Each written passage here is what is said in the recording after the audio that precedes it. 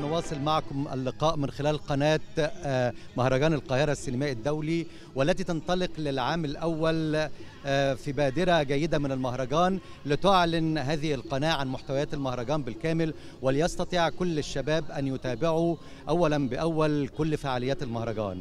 معنا الآن المخرج الكبير الأستاذ علي إدريس ومعنا السيناريست الكبيرة الأستاذة زينب عزيز واللذان يشاركان بفيلمهما آه، البر الثاني أهلا يا أستاذ علي. أهلا منورنا وسهلا. أهلا وسهلا. أهلا بيك يا مدام. أهلا بيك. نقول إن يعني حالة التوأمة العاطفية اللي بينكم يعني يمكن كثيرين من الجمهور ما يعرفوش إنه في في يعني علاقة زواج بين السيناريست الشهيرة الأستاذة زينب عزيز والأستاذ علي إدريس المخرج الكبير صاحب الروائع يعني ربنا يخليك. شكراً. التوأمة دي بقى مردودها إيه على الإنتاج اللي بيقدم من خلال الشاشة في أعمالكم مع بعض والله أنا أنا مرتاحة لها مرتاحة للنتائج. يعني هو المفروض إن الجمهور هو اللي يقول رأيه يعني بس آه، بالنسبة لي أنا شايفة إننا آه، بنجود لبعض وبنكمل بعض الحقيقة يعني. آه آه. وفرصة تواجدنا في البيت بتدينا آه، يعني مساحة أكبر من التجويد عن أي آه، مؤلف آه، أو سيناريست مع مخرج. يعني بيبقى برضو ليها حدود. إحنا المسألة أطول شوية. يعني بفضل مع علي لغاية التصوير. لو في أي حاجة هو في تعديلات في ملحوظة في حاجة بنكمل سوا. وإذا حصل خلاف بقى يا أستاذ علي بين المخرج والسيناريست مين اللي بيحسم الموضوع؟ آه، لا ال- ال- المنطق هو اللي بيحسب الموضوع. يعني إحنا إحنا بنشتغل مع بعض بشكل بشكل ما فيهوش آه، أنانية ما فيهوش كل واحد متسلط ومنحاز لرأيه يعني. لا إحنا بنشتغل بمنطق ال- الاقتناع وهي لو لقت حاجات أنا بقولها بتقتنع بيها بتشتغلها وهي ساعات بكتير بتغير حاجات في أفكاري يعني. وبتغير حاجات كتير. عموما اعذروني بس منطقة مغرية بالحوار فده اللي دفعني لأن أنا مش عايز أبعد كتير عن إن أنا أوجه آه، يعني أنظار واهتمام المشاهدين الآن على قناة آه، المهرجان.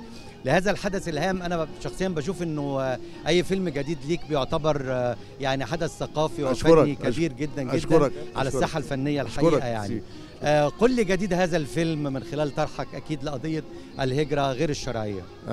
آه، والله أنا عايز أقول لك على حاجة هي ده بالنسبة لي ال- البر الثاني هو تغيير تغيير شكل ال ال الإخراج اللي أنا كنت بشتغل بيه في تناول الموضوع في في شكل شكل الصورة وشكل ال- الموسيقى في الفيلم وشكل المونتاج وشكل الصوت كل ده كان بالنسبة لي أنا أنا بنقل علي إدريس بنقله في في في في في حارة أخرى في منطقه في جديدة. في في, في منطقة تانية خالص. خالص. آه. يعني أنا ما أنا ما أنا ما اشتغلتهاش قبل كده يعني. آه، آه، أستاذ علي يعني آه، يظل دوما إنه اختيار وجه جديد لتقديمه من خلال عمل فني مغامرة ومجازفة وشجاعة وشيء يستحق الاحترام الحقيقة. الحمد لله. آه يعني اختيارك لوجه جديد لتقديم العمل كبطولة مطلقة. بص هقول لحضرتك من أول ما زينب ابتدت تكتب الورق تبتدي تكتب السيناريو وإحنا متفقين أنا وهي ان اللي يقوم ببطولة الفيلم ده وجوه جديدة.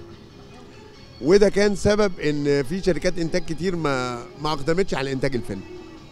لأن إحنا كنا عايزين وجوه جديده ما آه. كناش عايزين الوجوه المألوفة أو النجوم بتوعنا اللي هو إحنا آه، آه، في ذكريات بينهم وبين الجمهور في افلام كتيرة قوي. فاحنا كنا عايزين ناس جداد. هي دي ده بيني وبين زينب. يعني أنا ك ك آه، آه، آه. ك كمخرج وهي كمؤلفة كنا كان ده هدفنا يعني. أنا شخصيا بحييك لأنه يعني صناع السينما ابتعدوا عن هذه المجازفات كثيرا وشعروا البعض بفكرة إنه ربما آه، الوجه الجديد ما يقدمش آه، يعني آه، ما بداخلك من طاقة إبداعية يعني.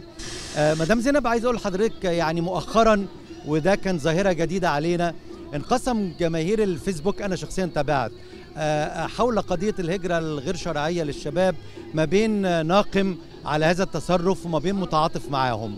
آه، انت بتقفي في أي منطقة بين الاثنين أنا متعاطف. متعاطفة معاهم. طبعا. آه. طبعا لأنه آه ناس كتير بتجهل الواقع اللي أنا شفته الحقيقة. يعني ناس كتير بتقول إذا معاهم فلوس ما يعملوا مشاريع بيها معاهمش فلوس. ده في ديون وفي كمبيالات وفي استدانة وفي بيع كل ما يملكه. وفي حلم مهزوم أو حلم ما, ما بيكملش للأسف. يعني متعاطفة تماما لأن أنا شفت أنا وعلي رحنا وشفنا الأماكن دي على الطبيعة وشفنا الناس دي على الطبيعة وشفنا الواقع فمتعاطفة تماما يعني.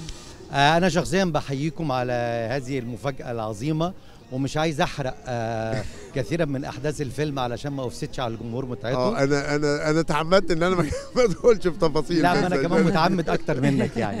أنا عايز الناس. تستمتع بال وأنا شخصيا وحضرتك أنا شخصيا من جمهورك يعني. ربنا ربنا يخليك. و-. وإن شاء الله نستمتع بعمل عظيم. وإن شاء الله يكون لنا لقاءات آه، أخرى يعني بتفاصيل أكتر أثناء عرض الفيلم. مش عايز أعطلكم على بإذن الله. الحفل يعني ساعدتونا ونورتونا يعني. ميرسي. نواصل معكم اللقاء السادة المشاهدين من خلال قناة مهرجان القاهرة السينمائي الدولي.